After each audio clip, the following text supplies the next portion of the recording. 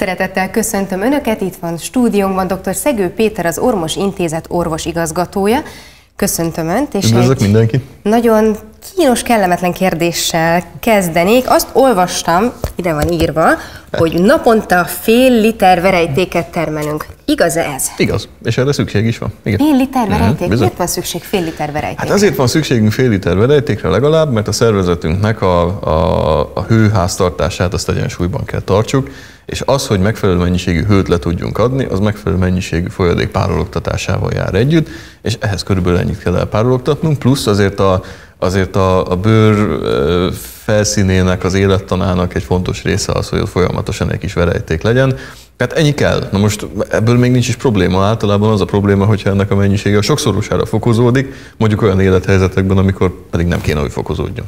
Tehát azok, akik rendszeresen többet izzadnak a kelleténél, ők bizony nagyon kellemetlen helyzetekben hát, találhatják probléma, igen, így van. Tehát azt el lehet képzelni, ez egyébként egy, egy, egy elég nagy probléma, el lehet képzelni azt, hogyha valaki mondjuk vizsgaszituációban van, és hirtelen elkezd a feje teteje, az arca, a tarkója, a, a kezede izzadni. Ömlik róla a víz, látod? Ömlik róla a víz, így van, vagy, vagy valaki egy, egy, egy kiélezett tárgyalási szituációban a tárgyaló partnerének kezet nyújt, és hát előtte meg utána kínos. törölgetni kell, azért az elég kínos tud lenni. És oda nem lehet dezodort tenni, tehát az ember a tenyerére nem tud hát, dezodorálni nem sem a fejtetejére. Nem, meg a dezodorok azok ugye általában az, a, a szagélményt azt tudják elfogni. Szagélmény, milyen kedvesen fogalmazott szagélmény. A, a mennyiséget nem tudják csökkenteni. A mennyiséget ezt másképp lehet csökkenteni, ennek vannak különféle metódusai aki kórosan izzad, annak, annak érdemes ilyen metódusokban gondolkodni, hogyha ez a fejtetőt, arcot, tarkót, kezeket, esetleg a talpakat érinti, akkor, akkor az az iontoforézisnak nevezett eljárás az, amit mi intézeten belül alkalmazni szoktunk. Iontoforézis. Uh-huh. Iontoforézis. Iontoforézissel, tehát azoknak érdemes foglalkoznia, akiknek kóros mennyiségű verejték távozik a testéből. Mikortól számít ez kóros mennyiségnek? Hát ez innentől kezdve elég szubjektív, tehát hogyha ha mondjuk az illető elhízott és vagy cukorbeteg, vagy olyan vegetatív idegrendszeri problémája van, ami miatt a verejtékmirigyei nem megfelelő beidegzést kapnak, kicsit túlreagálják az adott szituációt, és ez az illető tényleg az életvitelében zavarja, akkor onnantól kezdve én úgy gondolom, hogy mindenféleképpen kórosnak minősül a dolog. Ez a testnek nem egy természetes reakciója a túlhevülés ellen? Tehát, hogyha mondjuk valaki egy nagyobb testalkatú valaki, hamarabb túlhevül a teste, akkor értelemszerűen több verejtéket is termel. Ilyenkor érdemes megállítani ezt a túlzott verejtékezést? hát megint csak attól függ, tehát hogyha ha az illetőt ez, ez nagyon zavarja, vagy tényleg arról van szó, hogy az állán csöpög a verejték, és csöpög a verejték, akkor baj van. Tehát, hogyha ha, ha a verejtéknek a szerepét nézem, akkor a verejtéknek ahhoz, hogy az élettani hatásait ki tudja fejteni, az el kell párolognia. Ami lecsöpög, az nem párologát. Tehát az onnantól kezdve nincs Tehát szerepe a hűtésben semmi. mennyiségű, ami az, az, az úgy nagyon ritkán tud egészséges mennyiségű lenni, különösképpen akkor, hogyha inadekvát élethelyzetekben jelentkezik. Tehát az, hogy valaki a tűzőnapon izzad, mondjuk gyöngyözik a homloka, az nem érdekes. Hogyha valaki nagy sportteljesítmény követően csuromra izzadja magát, az se érdekes, mert ott ez egy adekvát reakció.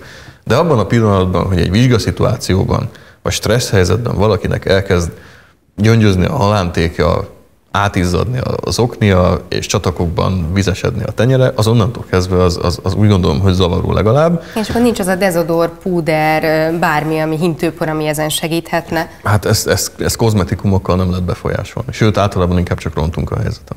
Tehát mi is volt akkor a kulcs szó? Iontoforézisnek hívják. Iontoforézis. Ez amúgy egy, egy, egy elég, elég izgalmas kezelési lehetőség, ez egy elektromos árammal történő kezelés úgy, úgy történik a helyzet, hogy, hogy úgy, úgy kell elképzelni azt a szituációt, amiben a betegek vannak, hogyha mondjuk a, a tenyerek izzadékonyak, hogy a tenyereket ilyenkor egy viszonylag magas iontartalmú folyadékba merítjük, egy meghatározott szintig, uh-huh. majd utána egy megfelelően hangolt egyen áramot bocsátunk ilyenkor az illető, illető folyadékba, és Hát ezzel, ezzel szelektíven, tekintve, hogy ugye a verejtékmirigyek az egy, azok egy sós folyadékot termelnek, ez a sós folyadék, ez mint egy vezetőközeg a bőrbe bevezeti az elektromos áramot, szelektíven lehet vele elérni a verejtékmirigyeket, és a verejtékmirigyek, illetve az azon végződő idegrostok ezt a hatást nagyon nem szeretik, ezzel gyakorlatilag megbénítjuk ezeket a, ezeket a mirigyeket, és egy kicsit megbénítjuk az oda vezető idegrostokat is. És mennyi időre lehet őket lebénítani?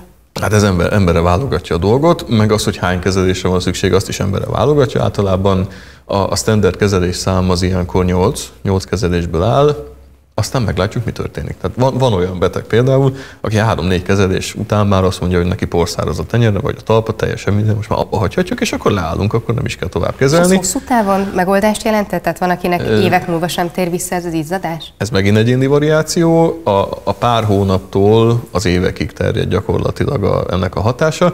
Ami jó hír az az, hogy ha valakinek vissza is tér a verejtékezése, akkor sem kell már mind a, a, a nyolcat esetleg ismételni, hanem akkor hetente egyszer-egyszer ezt a kezelést még megismétli, és ezzel kordában tudja tartani azt a kóros mennyiségű izzadását, ami őt tényleg korábban zavarta. Na mondjuk a tenyérnél értem, hogy egy vízbe kell helyezni, uh-huh. és akkor áramot vezetnek bele. Fájdalmas ez egyébként? Hát, Kicsit így rosszul hangzik, hogy vízbe teszem a kezem, majd ebbe áramot vezetnek. Ezt, ezt nem, nem, nem kihallgatási szinten folytatjuk ezt a dolgot, tehát nem, nem kínzás az egész, nem is váltóáram, az egyenáram, természetesen érzés, érzésre, egy csípés, egy bizsergés, az lehet nyugodtan. De nem kell De, de ez, a, ez, a, ez a filmekben látott görcsbeállók típusú, ez nincs, ez, ez elképzelhetetlen ettől a kezeléstől. A többi testájéknak a kezelése ez egy kicsit izgalmasabb, tehát mert amíg a kezeket meg a lábakat meríteni tudjuk a folyadékba, addig nyilván, hogyha valakinek az arca izzad, akkor azt nem várhatjuk el, hogy mondjuk 20 percen keresztül egy kádba arccal lefelé foglaljon helyet. Nem egészséges, nem, nem ajánlott. Igen, nem egészséges, vagy hát utána az oxigenizációról gondoskodni kéne. Nem, szó nincs róla. Akkor jön a hiperbár, amivel az e, oxigént juttatjuk a Amiről már volt szó, így van. Nem, itt egy, egy, egy meghatározott feltételt szoktunk alkalmazni, amit vízbe merítünk, és amin keresztül az elektromos áramot közöljük a bőrrel. Tehát minden egyes testálynak megvan a maga feltétje, amivel tudjuk kezelni. A fejtetőnek, a tarkónak, a halántéknak, meg egyéb nagy testályoknak is megvannak azok a speciális feltétjei, amiket fölcsatolunk, és, és azon keresztül mehet a kezelés nyugodtan. Hát ez csodálatos, akkor ezek szerint a kóros izzadásra is van már megoldás. Egy pár alkalmas terápiával egészen hosszú távú eredményeket lehet elérni. Nagyon szépen köszönöm, hogy itt Köszönöm volt. szépen.